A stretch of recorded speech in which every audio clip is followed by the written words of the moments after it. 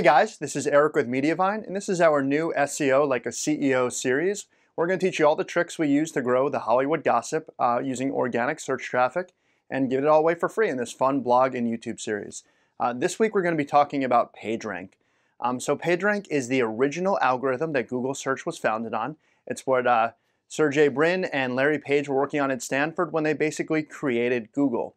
So it is maybe not as relevant in 2020. There's still a lot of things that are super important about it. So there's just simply no way we could have done an SEO series without talking about PageRank. All right, so what is PageRank?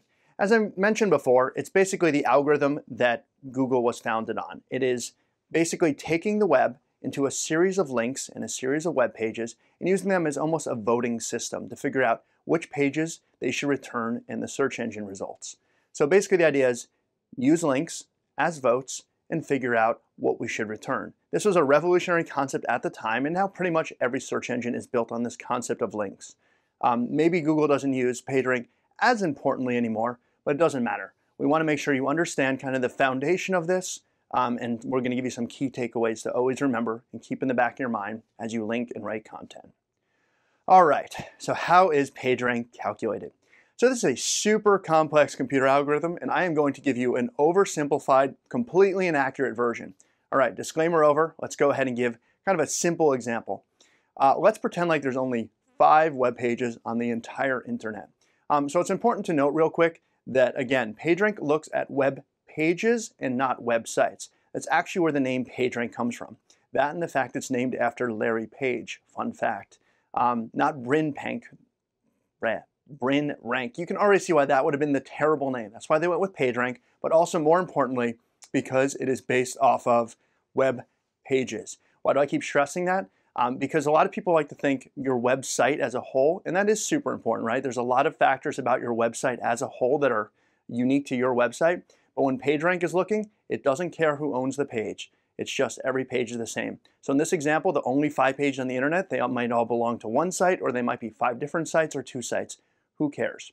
All right, so now the way that PageRank works is that it looks at the entire web and gives each page a starting rank. Let's say there's five pages again on the internet, it's just going to give each one 0.2 or 1 divided by 5. They all start off equal in Google's eyes.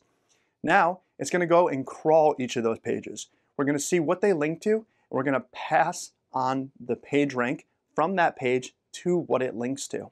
So in the first era, or the first iteration, every page only has 0.2. So now let's say one of these pages links to two other pages.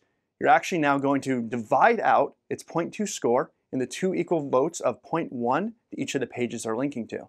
If they link to 10 pages, well there's not 10 pages in this example, but 5, you would have divided that 0.2 by 5 but, and then given out those points equally you can start to see where this is going to get complex. Now, one of the issues is we, we did one round of this, let's say, and we're going to show up a great slide here that will give an example of these point twos linking around the web. Um, and then you're going to basically have to go iteratively and keep going through because in the first round, everyone had point two. Second round, everyone now has new page ranks, so you recalculate it with their new votes. Again, oversimplifying this, and there's also something called a damping factor. Otherwise, you would end up with uh, computer people call recursive loop. Uh, it would run forever. So the damping factor basically just makes sure eventually these votes stop counting and they go down to zero and we can stop. It would be exhausting to do this forever and Google would never be able to exist. Um, so that's basically the idea behind PageRank. Every link is going to be a vote, super complex, even in my oversimplified example. Now imagine there was trillions of web pages and you used the full algorithm and not Eric's stupid version. Uh, it would have been a lot harder, right? But this was complex, so what, what are the main takeaways here? Um, because that's really what's important. So again, remember, people might say PageRank doesn't matter in 2020 um, because they no longer, let's say, display it in the Google toolbar. I don't know if any of you guys remember that. That was a thing. There was a Google toolbar uh, in, this, in Google Chrome, and basically it would show you the page rank of every page you browsed. Um, it was a score from 0 to 10. 0 meant you had no links. 10 meant you were probably Google itself because you had all the links in the internet. Uh, that was very tough to get. It was a logarithmic scale that kind of made it pretty, so it looked from 0 to 10. In our example, our numbers were like 0.2 and 0.17. Those aren't fun to look at if you're a user, uh, but 1 to 10 was something people could more easily relate to.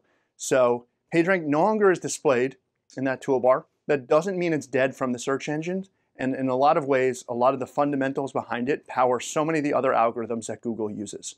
So let's go with again some of the takeaways um, that you should remember as again you go to link around your site. First is that links are a vote.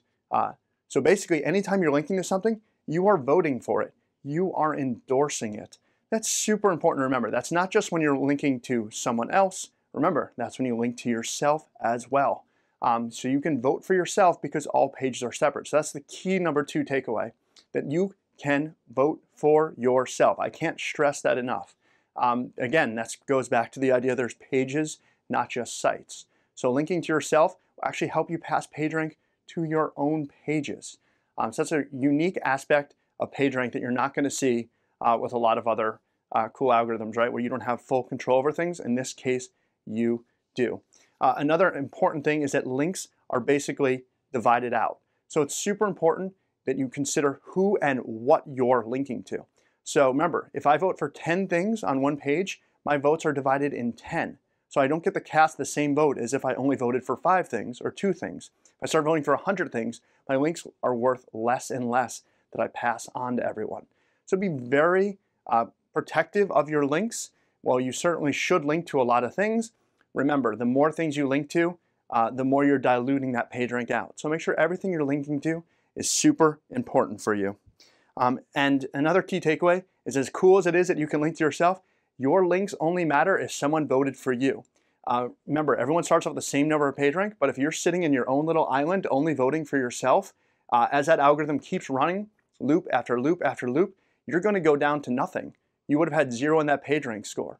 Uh, it's really important that you have incoming links so that you can link to yourself and to others. Your votes mean nothing if nobody voted for you.